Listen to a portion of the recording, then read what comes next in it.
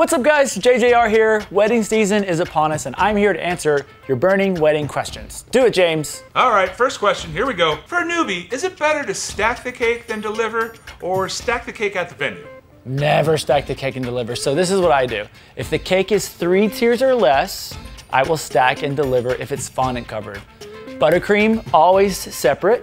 And if it's over three tiers, always set it up at the venue. You never know if someone's gonna stop short, you're gonna hit a pothole. Be safe and not sorry. Do it at the venue.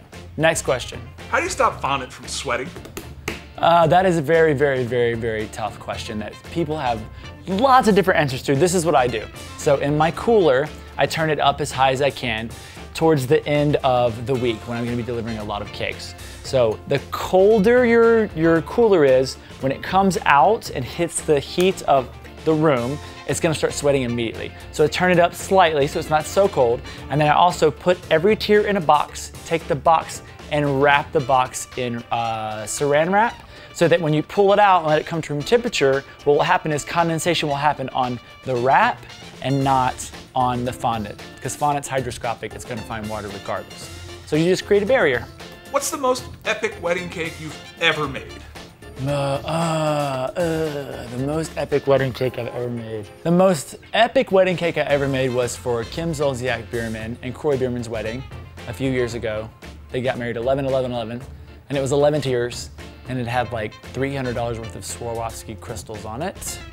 And it took like a week to make, um, but it was awesome. It was really beautiful.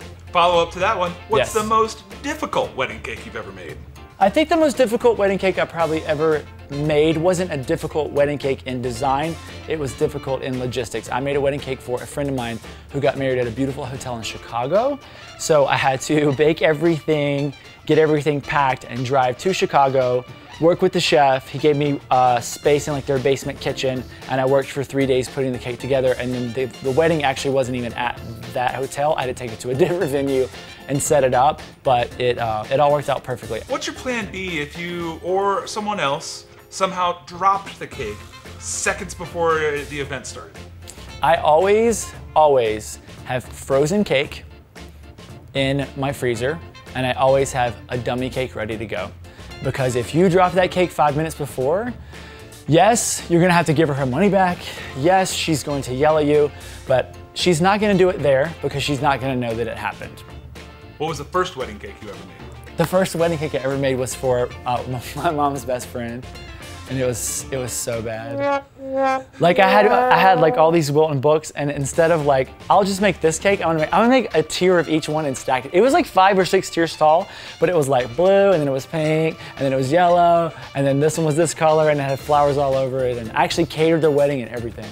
What's the strangest request you've had for a wedding cake? Uh, the zombie cake. Zombie cake was the strangest request I've ever had. She was a friend of mine, and the whole wedding was super shabby chic. She uh, does like this haunted house every year in North Georgia, and so that was like her way of getting that into the wedding. Um, so I, yeah, I mean, I was there like Dexter, just throwing blood on that thing.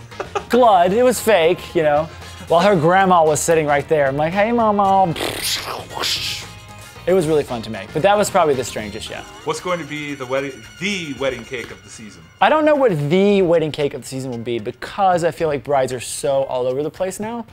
We're still doing we're still doing farm to table, we're still doing geode, we're still doing drippies, we're still doing pile-ons, but I will tell you that the Pantone color of the year, that purple color will be everywhere. Uh, what tools would you put in a cake decorating survival kit?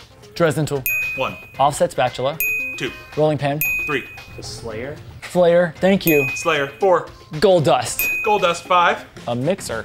Mixer, six thing in your emergency kit. Yeah. Final question. Okay. What is your dream wedding cake? My dream wedding cake? Yep. My dream wedding cake would be anything at all that came out of Margaret Braun's brain and beautiful, talented hands. She is my cake idol. She's the reason why I do cake. And one day we will do a cake hero episode, but we'll have to film it over three days because her cakes are so elaborate. But yeah, I would just give her whatever amount of money she wanted and say, make me whatever you want. I don't even care what color it is. I just want a piece of your art. And that's all the questions. Awesome. Thank you guys for all of your questions. Tune in every Tuesday in April to the Man About Cake channel for our wedding cake series. See you there.